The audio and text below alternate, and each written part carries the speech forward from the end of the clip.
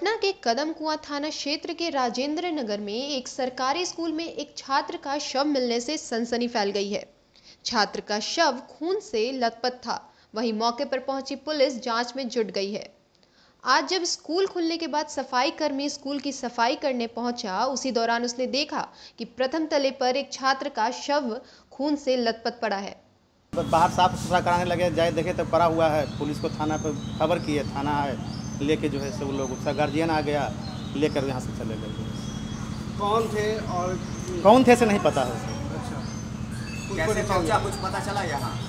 ये नहीं पता लगा सर क्योंकि कल विद्यालय बंद था आज भी हम लोग आए सात बजे तो खोले तो देखे कि कितना साल का बच्चा था? इतना दसवां में पढ़ता है सर साल तो हम क्या कहें दसवां में दसवां का एग्ज़ाम दिया है वो बच्चा। यहाँ कैसे आया? ऐसा ही कोई पता नहीं मेरे सभा से सर। यहाँ क्या मतलब उसके साथ क्या हत्या हुई है? क्या? ऐसा नहीं पता लगता है। सर तो बताएँगे वहाँ ना हम किसी वगैरह सब फैला हुआ था। बहुत थोड़ा सा हल्का गिरा हुआ था ब्लड जो है से मुँह से गिरा क्या गिरा नहीं पता लगा।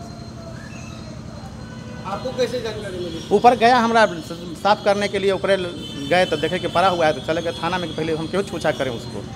वो आएगा देखेगा देखा ऊपर बाद ले गया उसको क्या नाम है सर आपका? धनंजय कुमार। आप क्या हैं? हम यहाँ प्रभारी हुए सर विद्यालय के।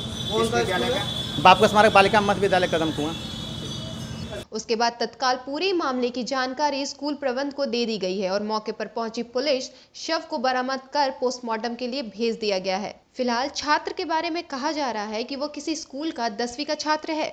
युवक की पहचान कर ली गई है और उसके परिजन को जानकारी दे दी गई है। फ़िलहाल घटनाक्रम को देखते हुए यही लग रहा है कि छात्र की हत्या की गई है। आँखें न्यूज़ 24 के लिए पटना से ब्यूरो रिपोर्ट।